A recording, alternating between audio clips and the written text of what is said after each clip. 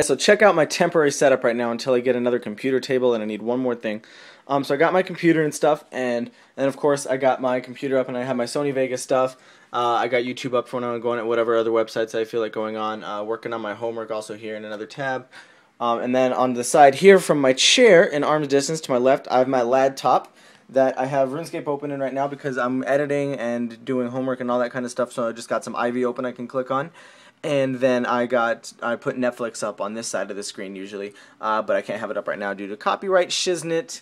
Um, so yeah, that's my setup right now, pretty much, so I can do RS and editing and everything I'm doing. Uh, pretty soon, I'm gonna be moving most of my editing stuff onto my laptop, so I can play RuneScape on my main computer with my mouse and stuff, and not off to the side, because uh, I'm at 98 wood cutting now, which you'll see in my Journey to Comp Cape video.